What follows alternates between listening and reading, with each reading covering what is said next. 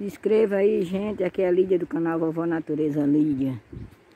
Diretamente do Rio do Morro do Estreito.